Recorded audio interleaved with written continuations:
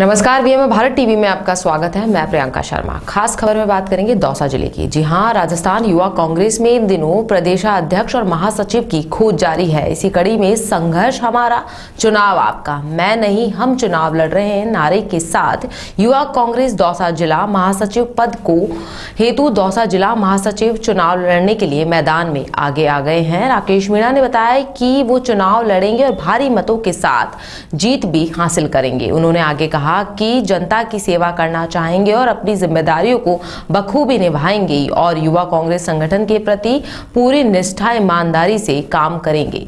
दौसा जिला महासचिव राकेश मीणा को इस पद हेतु फूल माला पहनाकर उनका भव्य स्वागत किया गया। इसी बीच सभी ने उन्हें बधाइयाँ भी दी। इससे पहले भी राकेश मीणा जनसेवा में अपना योगदान दे चुके हैं और आगे भी इसी तरह जनता की भलाई में काम करना चाहेंगे।